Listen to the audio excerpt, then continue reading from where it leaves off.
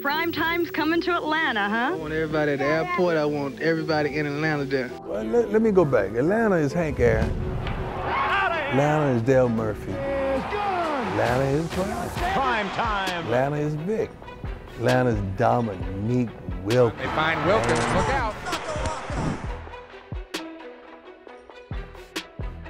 Oh gosh, Atlanta's everything to me.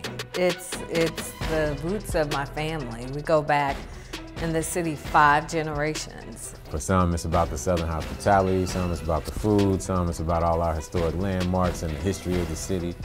I feel like this city has always had this this attitude about people treating us like we're not a city. Atlanta's not trying to mimic LA. Atlanta's not trying to mimic Chicago.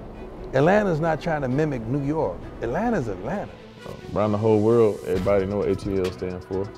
It's the badge of our pride. We gotta we gotta we gotta get it. There's an energy, there's a, uh, a relationship between the citizens of this city and the team. It was culture. We talked about all the different kinds of, of people that are here, you know, people from our, di- all different parts of the world uh, coming together to make this city just a, a unique place. I mean, even when you talk about the fabric of Atlanta, when you look at a Falcons game on television, what other stadium looks the way Atlanta looks with this diverse fan base? People feel like they can be free, be themselves. See, that's the thing about Atlanta. Whatever you are, just be it.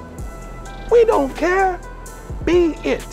When we good. Because we all grew up in a community where we felt like we were family and close knit. And then you take it downtown, Mercedes-Benz. After being here for a year, you know, there's a certain vibe and pride in the city and in the Falcons. And so when you were out there on Sunday, you know, you're really representing all of Atlanta and everything that it represents. When you look at the, even the colors of the Falcons, the red and the black, it's powerful and it just, it represents, I think, this fire that we have in the city that they take on the road. Like the Falcons are always a part of us, whether they win or lose. We always ride with the Falcons. Yeah, man, they, they, they represent the ATL hard. Sing it to people and let people know, you know. Welcome to Atlanta.